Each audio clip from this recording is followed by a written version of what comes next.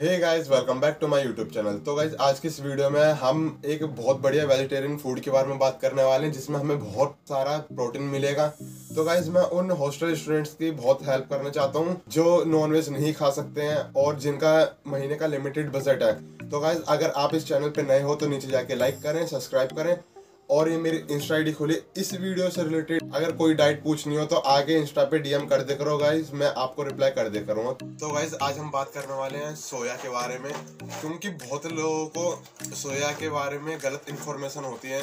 Guys मैं आपको बता दूँ, सोया खाने से हमारा कोई टेस्टोस्टेरोन लेवल कम नहीं होता। तो सबसे पहले क्यों ये बहुत बढ़िया ऑप्शन है उन स्टूडेंट्स के लिए जिन लोगों का महीने का लिमिटेड बजट होता है और जो लोग नॉनवेज नहीं खा सकते हैं। तो भाई 100 ग्राम सोयाबीन के पैकेट में आपको 50 ग्राम प्रोटीन मिलता है। गाइस आपको 100 ग्राम सोया के पैकेट में 50 ग्राम प्रोटीन मिलता है और 100 ग्राम सोयाबीन का पैकेट आपको बीस रुपए का मिलता है। तो गाइस आप सोच सकते हो कितना सस्ते में मिल रहा है। क्योंकि आपको सेम 50 ग्राम प्रोटीन अगर आप चिकन में से लोगे सेम अमाउंट में तो गैस आपको पाँच छह गुना पैसे ज़्यादा देना पड़ेगा। तो गैस आप सोच सकते हो पचास ग्राम प्रोटीन के लिए बीस रुपए बहुत कम है। तो मानता हूँ एक वेजिटेरियन को अपना पूरे दिन का प्रोटीन गोल पूरा करने के लिए बहुत दिक्कतों का सामना करना पड़ता है। क्योंकि वो गैस हाई प्रोटीन फ़ूड नहीं खा सकते हैं, जैसे कि चिकन हो गया और अंडे हो गए, वो ये नहीं खा सकते। पर उनके लिए सोयाबीन सब में बेस्ट है, क्योंकि आपको गाइज़ 100 ग्राम सोयाबीन में 50 ग्राम प्रोटीन मिल रहा है तो गाइज़ सब में बेस्ट है, वो भी आपको 100 ग्राम सोया आपको खाली बीस रुपये में मिलेगी है और ज़्यादा अमाउंट भी नहीं है। तो गाइज़ ये भी आप ले सकते हो, पचास ग्राम प्रोटीन बहुत होता है आपके पूरे दिन के प्रोटीन गोल के लिए। तो सोयाबीन एक ऐसा फ़ूड है जिसमें आपको कैलोरीज टू प्रोटीन रेशियो बहुत कम है। सिंपल भाषा में अगर आपको बताऊँ तो सोयाबीन खाने से आपको कम कैलोरीज में ज़्यादा प्रोटीन मिल रहा है।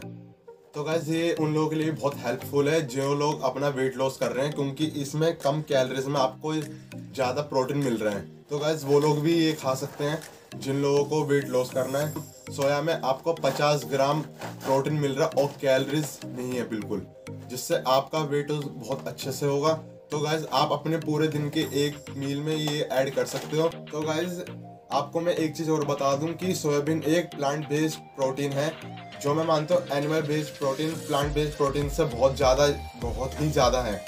पर हम इस वीडियो में उन लोगों की हेल्प करना चाहते हैं जो लोग वेजिटेरियन है, जिन लोगों का महीने का लिमिटेड बजट है। तो गाइज़ आपको बिना डरे सोया लेनी है, ये कोई ज़्यादा महँगी भी नहीं है। तो ये बेस्ट ऑप्शन है।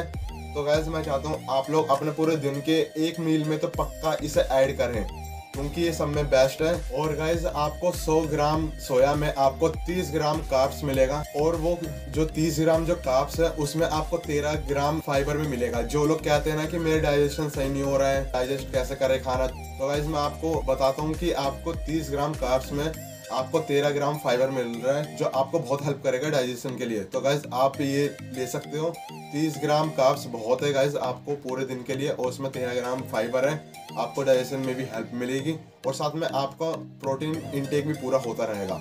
तो गाइज़ एक चीज़ और, बहुत लोगों ने ये गलत अफवाह भी फैलाया भी है कि सोया खाने से हमारा स्ट्रोजन लेवल कम हो जाता है, और साथ में मैनबूब्स आ जाते हैं। तो गाइज़ ऐसा कुछ नहीं है। अगर गाइज़ आप लिमिट से खाओगे तो भाई ऐसा कुछ नहीं होगा टेस्टोस्टेरोन लेवल आपका जब कम होता है, जब आप रोज के एक किलो सोया कंज्यूम करते हो, एक किलो सोया रोज कंज्यूम ये बहुत पागलपंती है जो लोग एक किलो सोया रोज खाते हैं। जो लोग 100-200 ग्राम सोया खाते हैं, उससे कुछ ऐसा नहीं होगा टेस्टोस्टेरोन लेवल कम नहीं होंगे और ना आपका कोई मैनबूब्स आएगा। मैं आपको बता दूँ, soya one of the best plant based protein है, जिसमें आपको कम पैसों में अच्छा खासा प्रोटीन मिल जाता है कर्ब्स मिल जाता है और फाइबर मिल जाता है। तो गैस मैं चाहता हूँ आप अपने रेगुलर डाइट में आप हल्के हल्के इसे लेना शुरू करिए। तो गाइज़ मैं चाहता हूँ आप अपनी डाइट में इसे पक्का लीजिए। तो पूरे एक दिन की डाइट में आप एक मील में पक्का इसे ले सकते हैं। कोई ज़्यादा नहीं खानी है लिमिट से खानी है। तो गाइज़ आई होप आपको वीडियो अच्छी लगी। वीडियो अच्छी लगी लाइक करें सब्सक्राइब करें और शेयर करें।